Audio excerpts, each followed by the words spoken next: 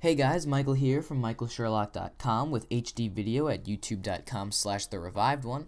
In this video, I want to talk to you about troubleshooting software issues on your Macintosh because I receive a lot of questions about people having issues with different pieces of software, having issues opening up files, and I think it's really important that we understand basic troubleshooting before you start emailing the Genius Bar or me for that matter. So, what exactly is your problem? Before you do anything to try to figure out what your problem is or how to fix it, restart your computer. Half, if not more, of all issues that come to me, when I tell them to restart their computer before anything else, the issue is resolved. So why waste your time? Why waste my time? Why waste Apple's time, the Genius Bar, whatever you're trying to deal with? Just restart your computer. You can also open up disk utility and try repairing the disk permissions I mean, I really haven't seen great results from this. Apple tells you to do so, but under first aid, just go in, repair the disk permissions. Maybe that'll help you. Probably you're still going to have your problem, but Apple wants you to do that. So you can go ahead and try that if you want. But after you restart your computer, then we can start figuring out what the problem is. So the first question I want to ask you is is this problem anytime you launch the application? Is it reproducible with a certain series of steps? Or is it just one file? If it's just one file, you may not have an issue with the particular application, but you may actually have a problem with a corrupted file. Open up the application with a different file and if you if it works you're able to let's say you're having an issue with iMovie if you're able to edit a video with a different source file and everything works fine then obviously your issue is with that specific file now what if you use a file, a new file, and you still are having problems. The next thing I want to try is your user library. Now basically you have library folders for your system and you have library folders for your particular users. And in some cases the files in your user folder, your user library, could become corrupt or damaged. So what I want you to do is go to system preferences and go to accounts. Then just make a new account and switch over to that account. Now in this case, if we've already determined that it's not a file issue, then it's maybe not as important to put the file in question into your shared users folder and then on the new account try it with that new with that shared file. I would recommend it just to keep as many constants the same as possible. So you make your new account, you're on the new account, and then you just want to open up the program and try to reproduce your issue. So if you're trying to, let's say in iMovie, when you try to add a picture-in-picture -picture effect, that's when you get your problem. And it's not a file issue. If you go to a new account and you're able to make picture-in-picture, -picture, then you know that there's an issue in your user's library folder. So what you want to do is open up your Macintosh hard drive and you want to go to users and then choose your the user that you are go to your library file, and then you want to go to application support. So again, we said we're dealing with iMovie. That's the problem we're imagining here. So it's searching, and these files, I've already scanned them. They have nothing to do with iMovie. They're just uh, XML files. So you don't have to worry about that. But if you had a folder like this, uh, like let's say you having an issue with PhoneView, then you would delete that from the application support folder. Next folder you want to check is the caches folder. Again, you can scroll through the list or just type in what you're looking for. In this case, you don't necessarily have to delete this TIFF file because that's irrelevant, but you want to delete the, both these folders, the com.apple.imovie8 and iMovie folders.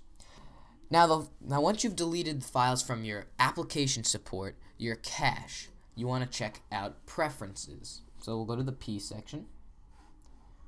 Okay, Here's the preferences folder. And again, you can do the same technique. Look for iMovie or whatever program you're having an issue with. And you want to get rid of these plist files. And by the way, when you're deleting, make sure you empty your trash can. It seems simple, but I get some pretty silly comments if I do say so myself. And the last thing here, which is apparent, look in the root directory of your user library folder and look for a folder of the application. In this case, there's a whole iMovie folder here full of plugins and sound effects that we want to purge and get rid of just to be safe and to determine if this is a user library issue. Now, in most cases, probably I'm going to say 95% of cases, if you opened up a new account and you were able to use the program, it's going to be in this user library problem. So if you've deleted everything in your root of the library, application support, caches, and preferences, restart your computer again after deleting. Start fresh. Open up the application, and you should be scotch free. You should be good to go. Now, let's say you're not, unfortunately, or let's say you know you, you it was not a user library issue. What you need to do is go then to your regular library, not your system library. Do not touch that. You just want to go to your regular Macintosh hard drive library. Now, what I would recommend is first deleting the application. Then going into application support, you want to delete the support files for the application. So you want to delete anything that has to do with iMovie. So you got iLife plugin strings, iMovie, or whatever, again, whatever problem you're having, the name of the application. So you want to delete application support. And again, you can check in the root to see if there is an iMovie folder, or again, whatever the issue is.